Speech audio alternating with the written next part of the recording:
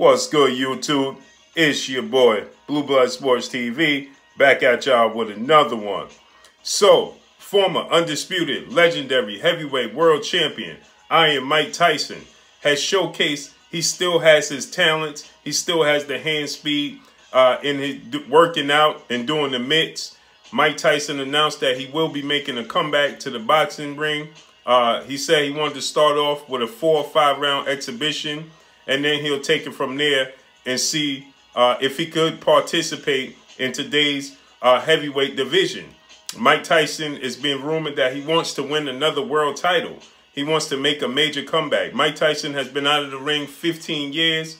Uh, he's a 53 years of age, and three out of his last four fights, we saw Mike Tyson knocked out. With that said, the aura, the myth, the legend of Mike Tyson, has not gone anywhere as he has just been offered a $20 million offer to showcase his talents in a bare knuckle competition. We know, uh, we see boxers like uh, recently, uh, Paulie, Mal Paulie Ma Magic Man Malignaggi, who is a two-time, two-division world champion. He participated in it. He came up short. You know, um, Gabe Rosado, he participated in it. You know, some professional boxers have participated in it. None, obviously, with the name of Mike Tyson.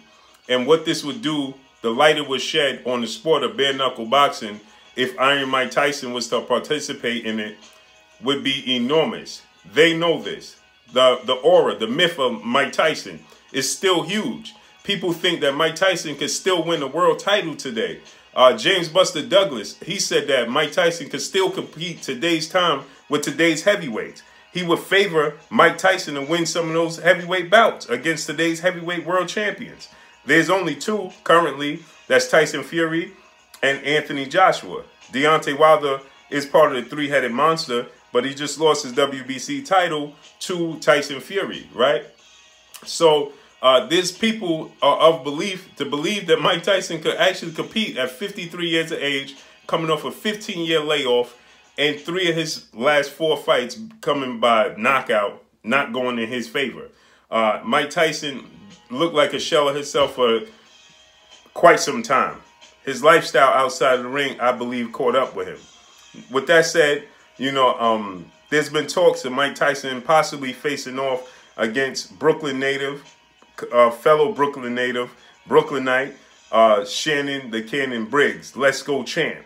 In the Brooklyn Barclays Center showdown that would be enormous because both guys are from Brooklyn and it would just be incredible to stage that at the Barclays Center in the heart of Brooklyn.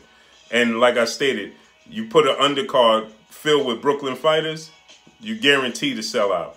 I stated that it's a possibility that Mike Tyson could do 1.5 million pay-per-views should he come back. And this is a testament to that. Being offered $20 million. He's been offered from multiple uh, multiple different platforms to showcase his talents, whether it be exhibition or real live combat, like bare knuckles. So Mike Tyson still has the buzz, he still has the aura, and people will pay to see it, right?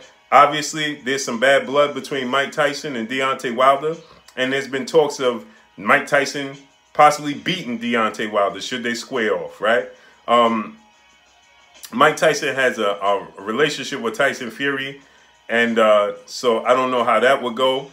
But Anthony Joshua, you know, uh, I don't know if Anthony Joshua would accept it. Of course, it would be uh, uh an honor for Anthony Joshua to share the ring with him. It would be legendary for Anthony Joshua, any other heavyweight for that matter, right?